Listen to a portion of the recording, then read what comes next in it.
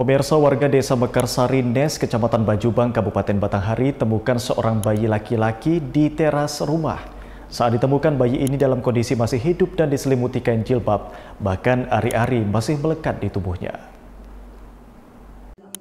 Rabu pagi 21 Juni 2023, warga RT 01 Desa Mekarsari Nes, Kecamatan Bajubang, Kabupaten Batanghari, dihebohkan dengan penemuan seorang bayi berjenis kelamin laki-laki yang tergeletak di teras salah satu rumah warga. Bayi malang ini pertama kali ditemukan sekitar pukul 5 lewat 30 waktu Indonesia Barat oleh penghuni rumah yang mendengar suara tangisan bayi. Pemilik rumah Sri Aminoto mengatakan suara tangisan itu awalnya didengar oleh anaknya dan kemudian istrinya pun langsung keluar rumah. Mereka menemukan bayi laki-laki ini hanya diselimuti kain jilbab dan ari-ari yang masih melekat di tubuh mungilnya itu.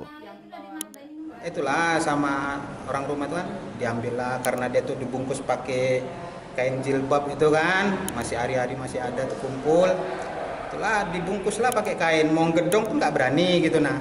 Karena masih ada tali pusatnya itu kan belum dipotong itulah setelah itu saya ngelapor ke pihak yang berwenang ibaratnya ke perangkat desa kan pas kebetulan depan rumah saya kadesnya kan Meski saat ditemukan terlihat dalam kondisi sehat, namun Sri Aminoto mengaku tetap melaporkan kejadian itu ke Kepala Desa Mekarsari dan kemudian langsung membawa bayi tersebut ke bidan desa untuk dilakukan pemeriksaan kesehatan serta dilaporkan ke pihak Polsek Bajubang.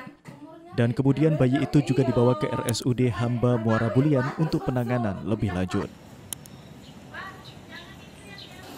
Sementara berdasarkan informasi dari pihak RSUD Hamba Muara Bulian, kondisi bayi laki-laki yang diduga sengaja dibuang oleh orang tuanya itu diketahui dalam kondisi sehat dan normal, yakni dengan panjang tubuh sekitar 49 cm. Perdana Atrio, Jambi TV.